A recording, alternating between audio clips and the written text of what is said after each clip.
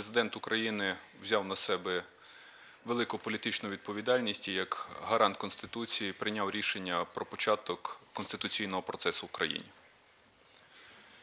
У 2010 році над українською конституцією було здійснено знущання тоді, коли без волі українського народу, без рішення Верховної Ради України, а через рішення Конституційного суду була здійснена спроба узурпації влади, переписування Конституції, що призвело в тому числі до скоєних злочинів в країні колишнім режимом Віктора Януковича, і що усунуло народ України, легітимний орган, який представляє народ України, парламент, від прийняття Конституції і від забезпечення балансу влад в країні.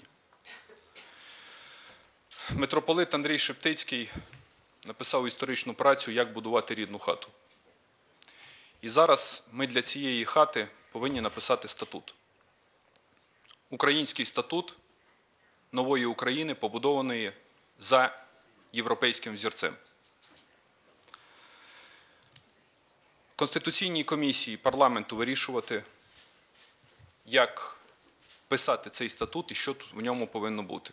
Але дуже важливо, що нова українська конституція повинна бути написана в першу чергу народом України. І позиція президента щодо проведення референдуму є відповіддю на питання, хто буде писати Конституцію.